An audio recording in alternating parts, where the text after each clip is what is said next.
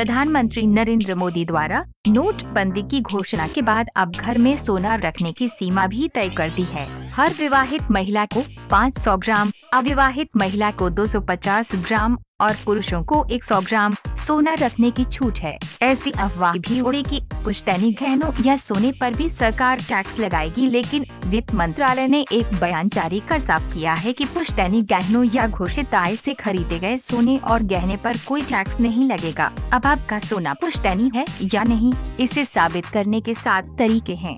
एक यदि आपके पास पुश्तैनी सोना, गहने या किसी अन्य रूप में है और उसका खुलासा आपने 2014 से 15 तक के संपत्ति कर में किया है तो वह सोना वैट माना जाएगा। बशर्ते आपके पास उसकी टैक्स रसीद होनी चाहिए। दो, पुश्तैनी सोना आपका है या नहीं, इसके लिए आप वसीयत को सबूत के तौर पर इस्तेमाल कर सकते हैं। आपके पुरखों ने जो वसीयत आपके नाम लिखी है, वह पुश्तैनी गहनों की प्रमाणिकता के लिए काफ़ी है।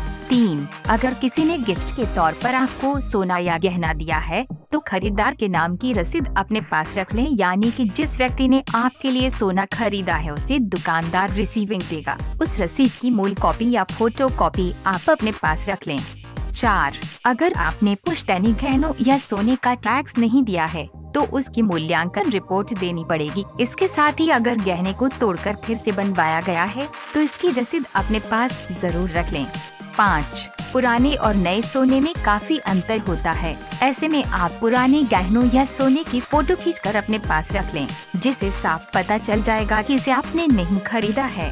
छः आपने यदि अपने घर का इंश्योरेंस करवाया है और साथ में सोने का भी तो इंश्योरेंस पेपर को सबूत के तौर पर इस्तेमाल कर सकते हैं क्योंकि इंश्योरेंस पेपर में आपके घर के साथ साथ यदि आपने गोल्ड का ज़िक्र भी किया है तो उसका विवरण पेपर पर लिखा होगा। सात जिन लोगों ने पुश्तैनी सोने या गहनों को गिरवी रखा है तो वे उसकी रसीद को प्रूफ के तौर पर इस्तेमाल कर सकते हैं। यदि आपके पास पुश्तैनी सोना, गहने या किसी अन्य रूप में है और उसका खुलासा आपने 2014 से 15 तक के संपत्ति कर में किया है तो वह सोना वैट माना जाएगा। बशर्ते आपके पास उसकी टैक्स रसीद होनी चाहिए।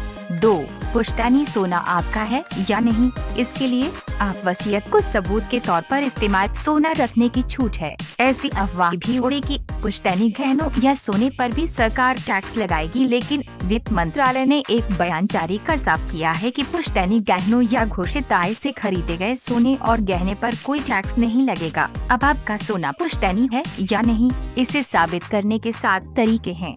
एक फ़ोटो कॉपी आप अपने पास रख लें।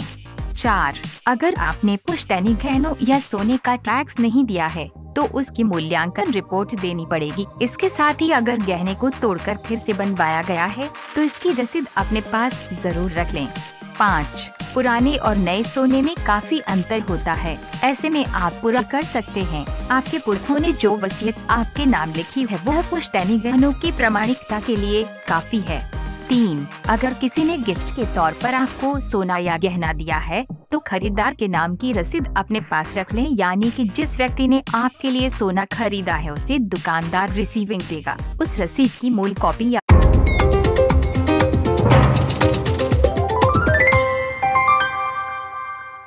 प्रधानमंत्री नरेंद्र मोदी द्वारा नोटबंदी की घोषणा के बाद अब घर में सोना रखने की सीमा भी तय कर दी है। हर विवाहित महिला को 500 ग्राम, अविवाहित महिला को 250 ग्राम और पुरुषों को 100 ग्राम।